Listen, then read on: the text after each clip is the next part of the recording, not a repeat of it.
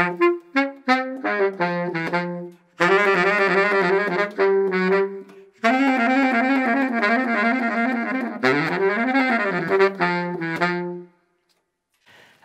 so I'm here today with the new Yamaha 480 baritone.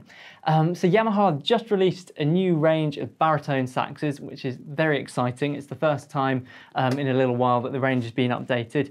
And this 480 um, is essentially kind of the student model. Um, I say that it will still cost you a fair bit of money, but it is an incredibly good sax, I would say. I've just picked this up for the first time and it is so easy to play.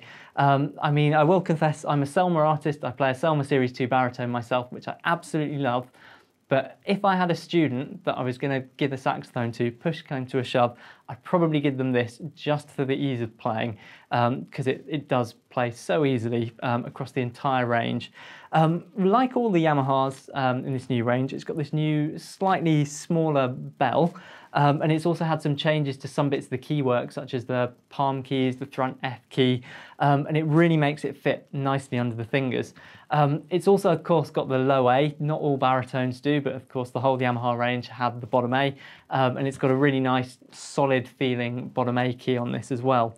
Um, one thing we should point out, this is the only one of the baritones in the range that doesn't have engraving on it. Um, the 62 and the 82 both um, have engraving on them, and we have done videos on those two saxes as well, so you can check those out um, if you want to compare.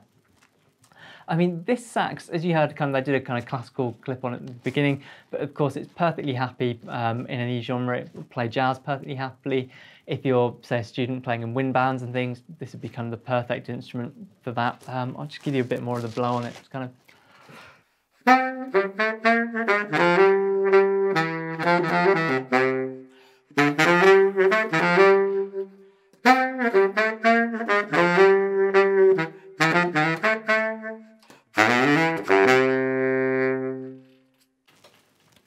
So you can hear it's a really versatile instrument.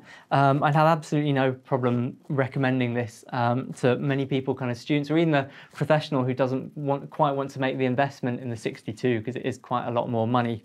Um, one final thing I, I, should have mentioned as well um, is that the 480 and the 62 um, both have um, a fitting in the bottom that you can put a spike in.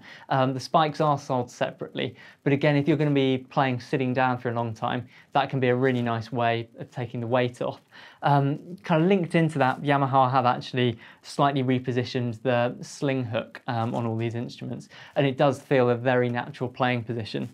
Um, I mentioned this 480 and the 62, we've got the, the kind of the holder um, where you can insert the spike. If you did go for the 82, which is kind of the absolutely top of the range, then the spike is included um, with that one. Um, but overall, yeah, this is an absolutely brilliant addition um, to the baritone saxophone range. Um, and yeah, if you get a chance, try them out, see what you think. I'll just play you a little bit more.